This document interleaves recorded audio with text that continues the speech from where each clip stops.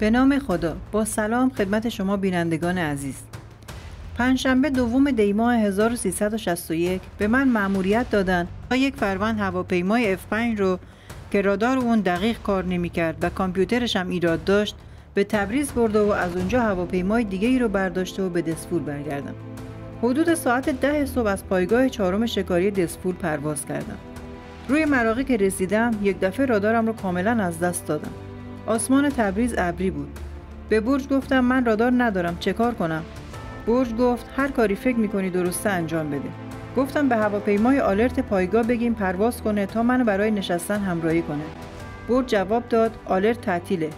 و این در حالی بود که تعطیلی آلرت تبریز به ستاد نیروی هوایی و پایگاه دسفول اعلام نشده بود. گفتم میرم و در همدان میشینم. رادار جواب داد باند همدان یخ زده. اونجا نمیشه. گفتم من موقعی اومدن یه افور دیدم که از همدان پرواز کرد. پس اون چطوری بلند شد؟ رادار گفت نه نمیشه. یا باید به تهران بری یا اصفهان. تو فکر بودم که چه کار کنم که یهو متوجه یه هواپیمای مسافربری ایران ای شدم که از ابرها بیرون اومد. خلبان این هواپیما رو رادیو گفت من صحبتهای شما رو شنیدم. با مسئولیت خودم این F5 رو تا باند تبریز همراهی می‌کنم. متصدی رادار گفت شما کار خودتو انجام بده و به هواپیمای شکاری کاری نداشته باش. من مونده بودم چه کار کنم. رادار هواپیما رو از دست داده بودم و به دلیل گردش در آسمان برای رفتن به تهران هم بنزین نداشتم. داشتم تو آسمون به صورت چشمی جستجو می کردم که متوجه یه جت فالکون شدم. به برج گفتم این جت فالکون کجا میره؟ گفت تهران. گفتم من تهران نمی‌رسم. بگو منو تا رشت ببره. نمی‌دونم چرا یه دفعه جت فالکون سرعت خودش رو زیاد کرد. انگار خلبان هواپیما از دیدن یه شکاری در کنار خودش ترسیده بود. متصدی برج گفت خلبان جت گفته تو رو نمی‌بره. گفتم به خلبان بگو اگه راهنماییم نکنه با مسلسل هواپیماش رو می‌زنم. البته نه من قصد داشتم اونو بزنم و نه اون قصد داشت منو راهنمایی کنه. همینطور نگاش می‌کردم که داخل ابرها رفت و ناپدید شد. سوختم هر لحظه کمتر می‌شد. کمی تغییر مسیر دادم. با خودم گفتم میرم فرودگاه زنجان. اما تمام منطقه زنجان رو برف پوشونده بود. باند رو دیدم. امکان فرود نداشت. به سمت سفیدرود تغییر مسیر دادم. بنزین هواپیمام خیلی کم شده بود. یهو یه منطقه جلگه مانند که از بالا به نظر می‌رسید درختای کاج داره توجهم رو جلب کرد. به سمتش گردش کردم. شاید فقط برای دو سه دقیقه بنزین داشتم. یه جاده خاکی خیلی باریک دیدم. چراغهای اختار بنزین روشن شده بود. سریع به طرفش گردش کردم. حین گردش دستگیره چرخها رو پایین دادم. بعد از پایین زدن دستگیره حدود 9 ثانیه زمان لازمه تا چرخها قفل بشه. ولی به دلیل مشکلات فنی هواپیما چرخها قفل نشده بود و من هم متوجه باز نشدن اون نشده بودم.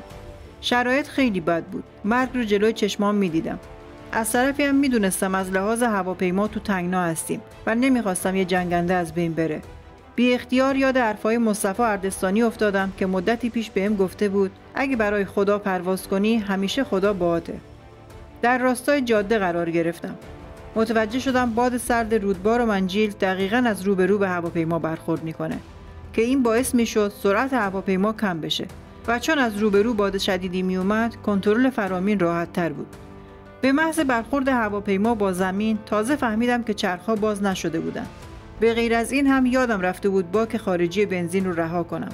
هواپیما با سرعت به سمت انتهای جاده می‌رفت. دردسر بعدی در انتظارم بود. جاده بنبست بود. در انتهای جاده دیوار یک باغ رو می‌دیدم که هر لحظه به من نزدیکتر می‌شد. شاید حدود پنج متر دیگه مونده بود که به دیوار بخورم که هواپیمام چرخید و با مماس شدن بال سمت راست هواپیما با دیوار باغ هواپیما از حرکت ایستاد. به بال سمت راست که نگاه کردم دیدم دقیقا روی دیوار قرار گرفته. خدا رو شکر می کردم که به طرز معجزه‌آسایی نجات پیدا کرده بودم. مگه میشه هواپیما با این وضعیت و این شرایط روی باند خاکی قدیمی بشینه؟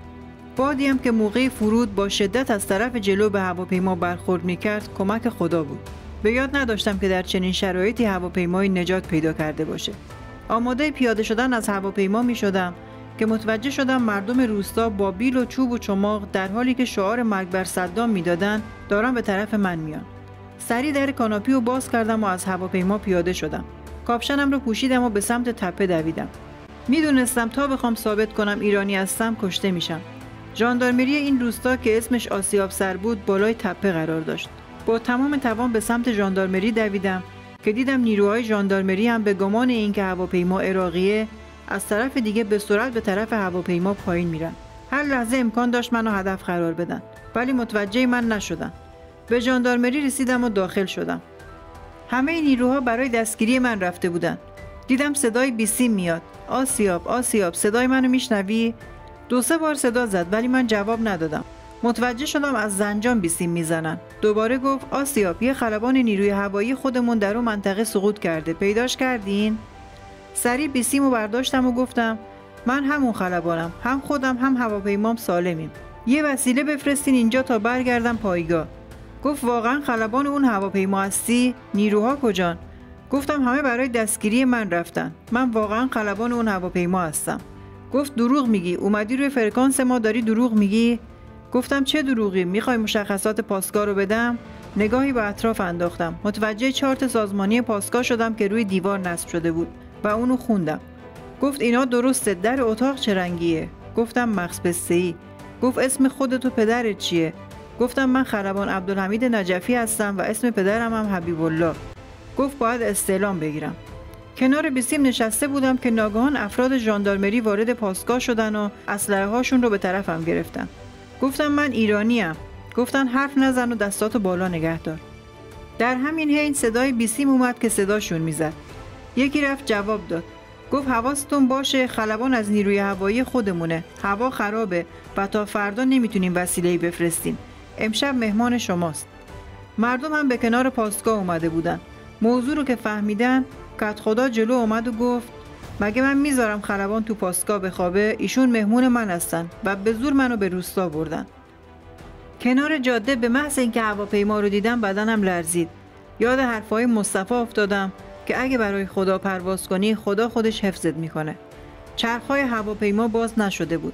که اگه باز می‌شد به دلیل اینکه عرض جاده کمتر از فاصله بین دو چرخ عقب هواپیما بود جنگنده صد درصد واژگون می‌شد و چون جاده حدود دو متر شان خاکی با شیب 60 درجه داشت به داخل رودخونه سفید رود میافتادم و حتما کشته می شدم.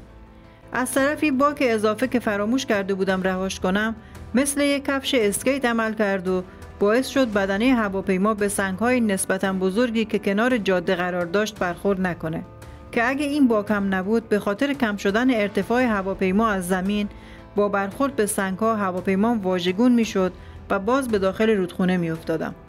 عرق سردی روی پیشونیم نشسته بود و اصلا حال خوبی نداشتم. وارد خونه کت خدا شدم. برای آسایش من هر کاری بود انجام دادن. پذیرایی مفصلی از من شد که واقعا شرمندهشون شدم. صبح حدود ساعت 11 هلیکوپتر امداد و نجات نیروی هوایی با یک تیم بررسی سوانه به روستا اومد. پس از تمام شدن کار بررسی از مردم روستا خدافزی کردم و به زنجان رفتیم. شب رو در زنجان موندم و صبح بلیت تهران گرفتم و از تهران هم با یه فروند سی سی به دسفول رفتم. در دسفول با خبر شدم که هواپیما رو با یه هلیکوپتر شینوک به تهران منتقل کردن.